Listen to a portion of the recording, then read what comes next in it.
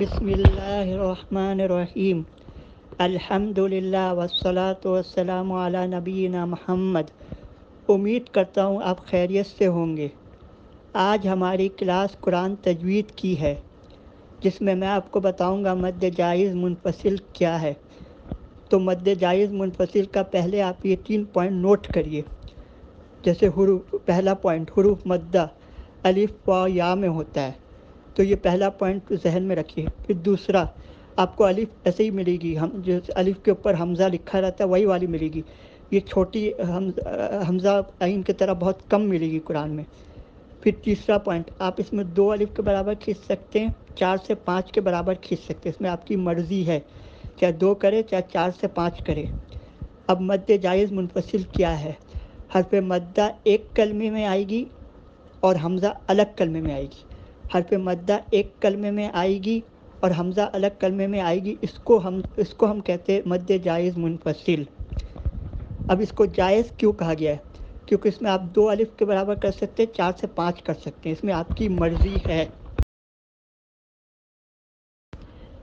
اب میں آپ کو مثال سے سمجھاؤں گا۔ قرآن کریم میں دیکھیے، سورہ کوثر کی پہلی آیت ان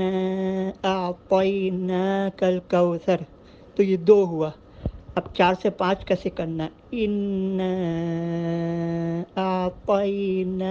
کل کوثر اب دوسری مثال دیکھیے، سورہ تحریم کی آیت چھ۔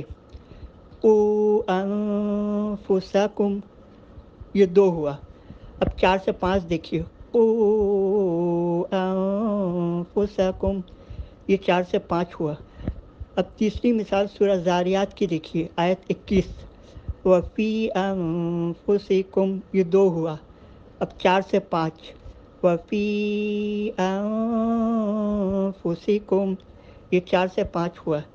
ایسے ہی سورہ کافرون کی آیت دیکھیے۔ قل یا ایوہ الکافرون، تو یا میں مد منفصل ہوا۔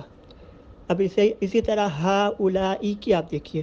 تو ہا میں مد منفصل ہوا اور لا میں مد متصل ہوا۔ ہا میں مد منفصل ہوا اور لا میں مد متصل ہوا۔ تو اس کو آپ قرآن کریم میں اپلائی کریے اور سمجھنے کی کوشش کریے۔ اور امید کرتا ہوں کہ آپ کو یہ کلاس سمجھ میں آئی ہوگی۔ اگر پھر بھی کوئی پریشانی ہے تو آپ کمنٹ باکس میں سیکشن میں لکھ کے پوچھ سکتے ہیں۔ اگر یہ ویڈیو پسند آئی ہے تو اس کو لائک کریے اور شیئر کریے اور سبسکرائب کریے۔ شکریہ۔